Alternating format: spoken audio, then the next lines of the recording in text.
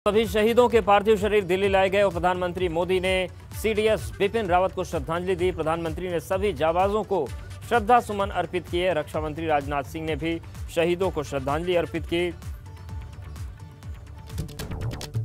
तो पालम एयरपोर्ट पर श्रद्धांजलि सभा हुई। प्रधानमंत्री पहुँचे और उन्होंने सीडीएस बिपिन रावत समेत सभी शहीदों को श्रद्धांजलि अर्पित की। देखिए, दो तस्वीरें आपको हम दिखा रहे हैं। पहली तस्वीर प्रधानमंत्री नरेंद्र मोदी की दूसरी तस्वीर है। रक्षा मंत्री राजनाथ सिंह की, उन्होंने भी शहीदों को श्रद्धा सुमन अर्पित किए।